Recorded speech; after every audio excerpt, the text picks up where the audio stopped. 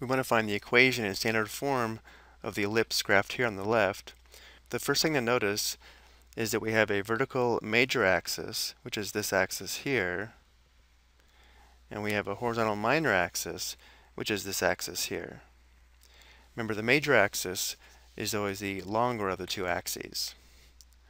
Also notice that the center of the ellipse is at the origin, and therefore the center is this point here with coordinates 0, comma 0. The length of the major axis is equal to 2a, or we can say the distance from the center to one endpoint of the major axis is equal to a.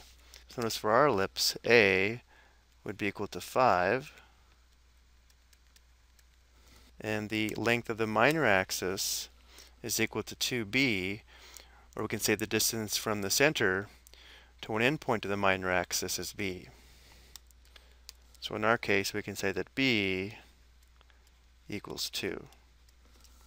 The standard form of an equation of ellipse with a vertical major axis is given here below, where again the center is h comma k, and a is always greater than b, so when we have a vertical major axis, a squared, the larger denominator goes under the y part of the equation. When we have a horizontal major axis, a squared, the larger denominator is under the x part of the equation.